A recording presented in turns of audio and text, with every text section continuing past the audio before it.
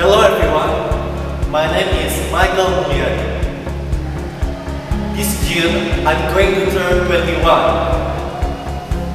Right now, I'm at my third year of studying in ITB, or you can say Bandung Institute of Technology.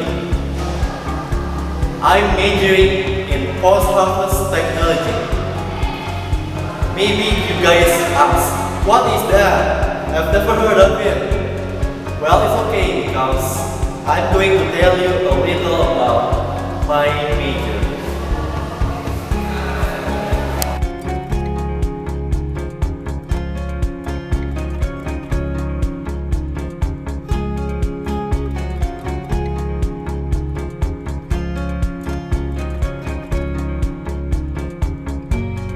As you can see, those are my friends working at the lab. Spend a lot of time working at the lab about how to design the perfect storage and packaging system for fresh products. For example, these broccolis. On my right hand is, is one example when a broccoli is kept at room temperature. Basically, any products such as fruits or vegetables tend to go bad quicker when kept in room temperature. While on my left hand is a broccoli that is kept in cold temperature. Basically, the goal of my major is about how to design an excellent storage and packaging technology that can maintain a product's shelf life and quality as long as possible.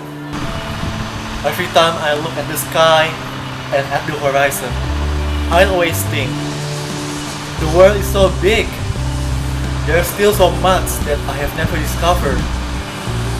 I've always longing to see the world, to learn much more than I'm right now. From all the countries that I want to visit, Japan has always been inside my heart. To me, Japan is such a special place. It's a land of technology, of innovation, of beautiful cultures. So when I look at the program, the destination is Japan. I immediately got interested. And also the topic is innovation for a better future. Immediately I get more interested. Because for so long, I've always wanted to make my own innovation. To make a better world for my invention. My expectation for Following program is so that I get the knowledge and also experience to continue the project that I and my friend has been working on.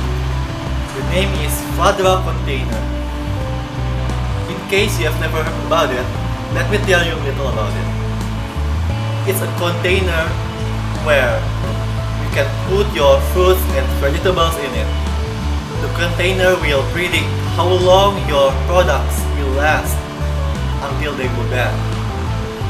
So that you can minimize food waste because you can predict how long your food will last.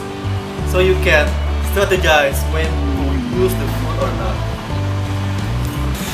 And also, what I'm going to contribute to Indonesia and education is that I'm going to tell people about how important post-harvest technology is. That goes without saying, post-harvest is one of the main pillars of the country, besides economy, health, and education. A strong country needs strong post-harvest sector, so that when people get enough knowledge and understand more about it, this country will have strong and better post-harvest technology more than ever. And lastly, why must Scholarion choose me as one of the scholars? The answer is this. I am a man with mission. I already know what I'm going to work on. So that if I get chosen to Scholarion, I can fulfill my dream and my mission easier than ever.